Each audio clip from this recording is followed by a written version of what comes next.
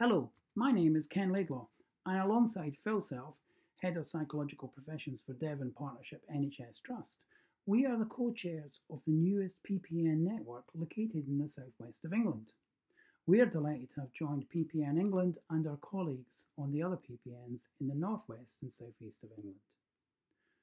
As the newest kids on the block, we are still growing, and at this time, we are working to build our PPN in the southwest for the southwest.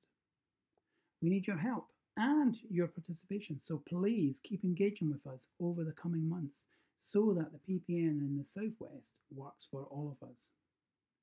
I don't suppose many of us envisaged the particular set of circumstances facing us at this holiday weekend. Indeed, some of you may be working to deliver psychological care over the next few days. And we're all mindful of the sacrifices being made by so many people at this time.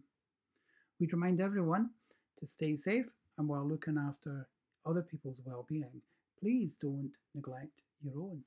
The PPN network is needed now more than ever for all of us working in the psychological professions. We're all a community of practitioners and all a community of learners as we seek to enhance our competence to work at the best level.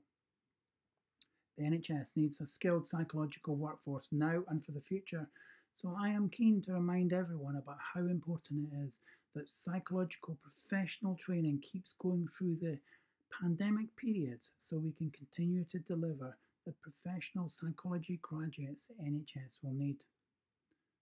Please follow the link below for the excellent guidance for psychological professionals during the COVID 19 pandemic.